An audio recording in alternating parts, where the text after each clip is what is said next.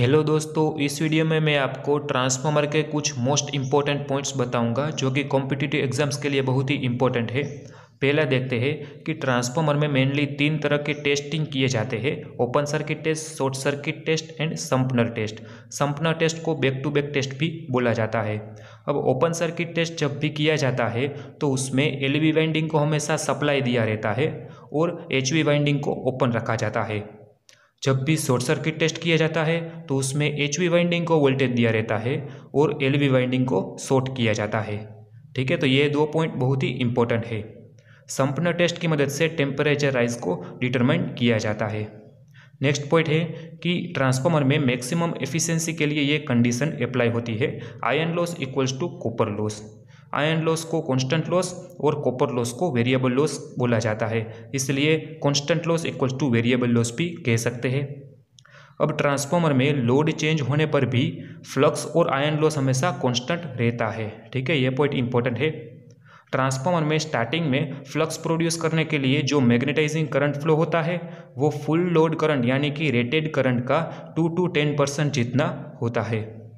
अब magnetising current में कुछ हार्मोनिक्स कंपोनेंट भी होते हैं। तो मैग्नेटाइजिंग करंट में हमेशा सेकंड हार्मोनिक या फिर इवन हार्मोनिक्स होते हैं। ट्रांसफॉर्मर में जब भी डेल्टा डेल्टा कनेक्शन किया जाता है, तब मान लो कि थ्री फ़ेज़ में से कोई भी एक फ़ेज़ ओपन सर्किट हो जाए तो वीवी कनेक्शन हो जाता है। या इसको ओपन डेल्टा कनेक्शन भी बोला जाता है। इसमें सिर्फ़ दो ही फ़ेज़ बचते हैं। तो दो फ़ेज़ से ही थ्री फ़ेज़ पावर सप्लाई किया जाता है और थ्री फ़ेज़ लोड को फेड किया जाता है।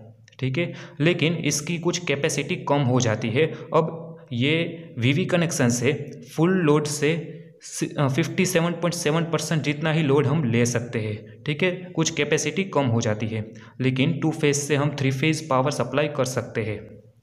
नेक्स्ट पॉइंट ये एक इंपॉर्टेंट पॉइंट है, जो कि कॉम्पिटिटिव एग्ज़ाम में पूछा गया है। अब स्टार डेल्टा ट्रांसफॉर्मर में जब भी star side L G fault होता है तो डेल्टा साइड हमेशा एल एल फोल्ट होगा। ठीक है, ये एक इंपॉर्टेंट पॉइंट है। अब स्टार डेल्टा कन्वर्जन में जब भी स्टार कनेक्शन में तीनों रेजिस्टेंस की वैल्यू इक्वल होती है, तब स्टार को डेल्टा में कन्वर्ट करेंगे, तब रेजिस्टेंस की वैल्यू तीन गुना जितनी हो जाएगी। मान लो इसमें स्टार में वन ओहम है तो डेल्टा में कन्वर्जन में तीन गुना, यानी कि थ्री ओहम हो जाएगी तीनों की। ठीक है, इसी तरह डेल्टा टू स्टार कन्वर्जन में वन थर्ड जितनी रेजिस्टेंस की वैल्यू हो जाती है। नेक्स्ट पॉइंट, ट्रांसफॉर्मर में सभी टाइप के इंटरनल फॉल्ट की अगेंस्ट में प्रोटेक्शन देने के लिए बुकोल्स रिले का यूज़ किया जाता है, जैसे कि short circuit fault, interturn fault, incipient fault, यानी कि ट्रांसफॉर्मर में जब भी एबनॉर्मल कंडीशन होती है तो उसकी वजह से लार्ज फॉल्ट भी प्रोड्यूस हो हो सकता है। जैसे कि ट्रांसफॉर्मर में हीटिंग ज़्यादा हो तो उसकी वजह से इंसुलेशन डैमेज हो जाएगा और शॉर्ट सर्किट फॉल्ट या अर्थ फॉल्ट होगा तो उसको इंसिपियंट फॉल्ट बोला जाता है। इंसुलेशन डैमेज हो जाए ऑयल लीकेज की वजह से ट्रांसफॉर्मर में ऑयल लेवल कम हो या फिर आर्किंग हो रहा हो, कोई स्पार्किंग हो रहा हो तो हीटिंग बढ़ेगी, ठीक है? तो वो सभी टाइप के जो फॉल्ट हो रहे हैं, उसका अलार्म भी हमें विकोल्स रिले देता है और उसके अगेंस्ट में प्रोटेक्शन भी देता है। ये बुकोल्स रिले का यूज़ 500 हंड्रेड से ज़्यादा रेटिंग का ट्रांसफॉर्मर में ही किया जाता है, ठीक है? ट्रांसफॉर्मर में मिनरल ऑयल्स का यूज़ किया जाता है। Naphthenic, paraffinic silicone based and bio based type के ऑयल का यूज़ किया जाता है। ऑयल का दो पर्पस होता है इंसुलेशन के लिए और कूलिंग के लिए, ठीक है? अब एक रिलेशन इम्पोर्टेंट है। फ्लक्स एंड मैग्नेटाइजिंग करंट हमेशा वी बाई एफ़ का जो रेशियो है उसके प्रोपोजनल में आता है। ये एक आपको याद रखना है क्योंकि एग्ज़ाम्पल में बहुत ही इम्पोर्टेंट है। मान लो कि वोल्टेज हम कांस्टेंट दे रहे हैं तो जब भी फ्रीक्वेंसी थोड़ी सी भी बढ़ेगी तो उसकी वजह से जो फ्लक्स और मैग्नेटाइजिंग करंट है, उसकी वैल्यू कम होगी। तो ये एक रिलेशन इंपॉर्टेंट है एग्ज़ाम्पल में बहुत ही काम आएगा। अब एक दूसरी बात है कि जब भी ट्रांसफॉर्मर में फ्रीक्वेंसी हम ज़्यादा देंगे तो उसके अकॉर्डिंग ट्रांसफॉर्मर की साइज़ कम होती जाएगी।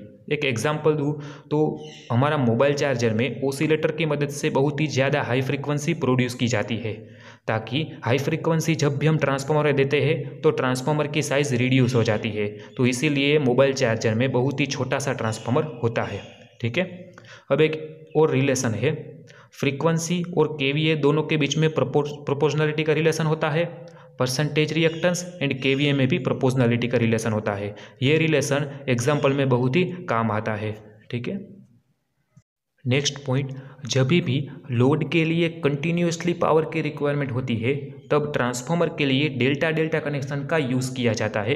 क्योंकि मैंने आपको पहले बताया कि डेल्टा डेल्टा कनेक्शन होगा तो उसमें जब भी थ्री फ़ेज़ में से कोई भी एक फ़ेज़ ओपन हो जाएगा, तब भी टू फ़ेज़ से भी हम थ्री फ़ेज़ पावर को सप्लाई कर सकते हैं।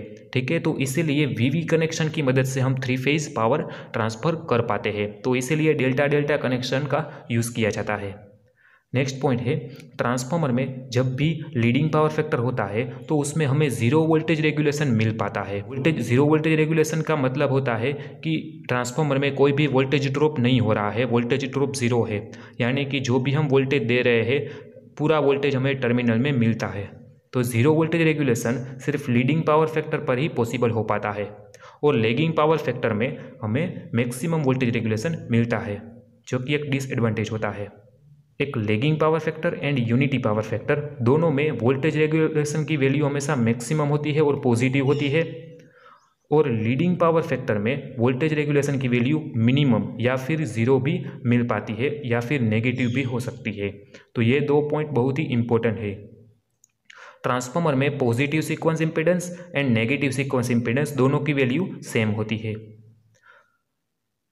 अब ऑटो ट्रांसफॉर्मर और पावर ट्रांसफॉर्मर का कंपैरिजन करेंगे तो उसमें सभी कंडीशन सेम होगी, यानी कि वोल्टेज सेम अप्लाई करेंगे, ठीक है करंट सेम फ्लो होगा। तो ये सभी कंडीशन में जो ऑटो ट्रांसफॉर्मर का पावर आउटपुट है, वो टू वाइंडिंग ट्रांसफॉर्मर के मुकाबले ज़्यादा मिलता है, क्योंकि ऑटो ट्रांसफॉर्मर में सिर्फ़ एक ही वाइंडिंग होती है तो उसमें लॉस कम होगा, इसलिए ऑटो ट्रांसफॉर्मर का आउटपुट हमेशा ज़्यादा मिलता है। दो ट्रांसफॉर्मर की पैरेलल ऑपरेशन की जो कंडीशंस है, वो बहुत ही इंपॉर्टेंट है। इसमें सेम पोलरिटी होनी चाहिए। अगर सेम पोलरिटी नहीं होगी तो ट्रांसफॉर्मर में दो वाइंडिंग शॉर्ट सर्किट हो जाएगा और बहुत ही ज़्यादा करंट फ्लो होगा। थ्री फ़ेज़ ट्रांसफॉर्मर में फ़ेज़ सीक्वेंस सेम होनी चाहिए। दोनों ट्रांसफॉर्मर का वेक्टर ग्रुप सेम होना चाहिए। दोनों ट्रांसफॉर्मर का वोल्टेज रेशियो भी सेम होना चाहिए, वरना सर्कुलेटिंग करंट पास होता है। दोनों ट्रांसफॉर्मर का परसेंटेज इम्पीडेंस की वैल्यू सेम होनी चाहिए। परसेंटेज इम्पीडेंस की वैल्यू अलग होगी तो दोनों ट्रांसफॉर्मर उसकी कैपेसिटी के अकॉर्डिंग लोड नहीं ले पाएँगे। ठीक है? इसीलिए दोनों ट्रांसफॉर्मर का एक्स बायर रेशियो सेम होना चाहिए, वरना दोनों ट्रांसफॉर्मर डिफरेंट पावर फैक्टर पर ऑपरेट होगा। तो ये सभी पैरल ऑपरेशन के लिए बहुत ही इंपॉर्टेंट कंडीशंस है। अब ट्रांसफॉर्मर में जब भी सेकेंडरी वाइंडिंग में कोई रजिस्टिव लोड कनेक्ट किया रहता है तो उसका पावर फैक्टर यूनिटी मिलता है। लेकिन प्राइमरी वाइंडिंग में मैग्नेटाइजिंग करंट फ्लो होता है, जो कि रिएक्टिव कंपोनेंट है। इसलिए प्राइमरी वाइंडिंग का पावर फैक्टर थोड़ा कम हो जाएगा। तो सेकेंडरी में पावर फैक्टर यूनिटी मिलता है, तब प्राइमरी वाइंडिंग में पॉइंट लेग जितना पावर फैक्टर मिलेगा। अब ट्रांसफॉर्मर में प्राइमरी टू सेकेंडरी वाइंडिंग में है, फ्लक्स लिंक हो रहा है, उसमें थोड़ा फ्लक्स लीकेज होता है। तो लीकेज फैक्टर का एक इक्वेशन है, total flux upon useful flux. ये इक्वेशन एक बार कॉम्पिटिटिव एग्ज़ाम्स में पूछा गया है, बहुत ही इंपॉर्टेंट है।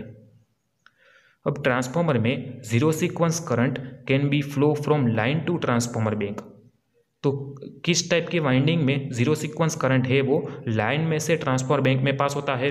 तो ग्राउंडेड स्टार डेल्टा कनेक्शन में। इसका कंसेप्ट यह फिगर से देखिए, ये ट्रांसमिशन लाइन है। अब जब भी ग्राउंडेड स्टार होगा तो ये स्विच क्लोज हो जाएगी प्राइमरी में, ठीक है? और सेकेंडरी में डेल्टा कनेक्शन है, इसलिए ये स्विच क्लोज हो जाएगी।